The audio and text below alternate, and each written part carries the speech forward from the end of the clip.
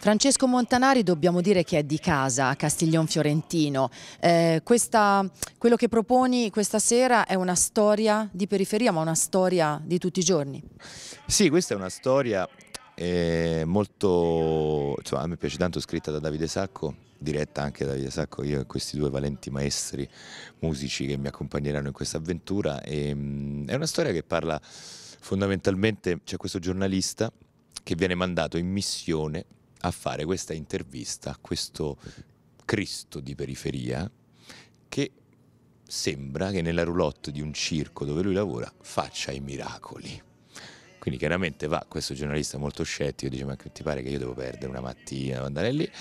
E succede, chiaramente si trova come dire, eh, coinvolto in un mondo meraviglioso del circo e poi succedono obiettivamente delle cose strane che se ci sappiamo fare come speriamo, come noi però ci impegniamo, possiamo restituire a chi ci guarda e chi ci ascolta. Un racconto di fede, quella stessa fede che spinge il funambolo a continuare a camminare sulla corda sospeso nel vuoto. La fede che supera la paura. Questo è il messaggio che ci è sembrato lanciare lo spettacolo molto apprezzato dal pubblico dello Spina.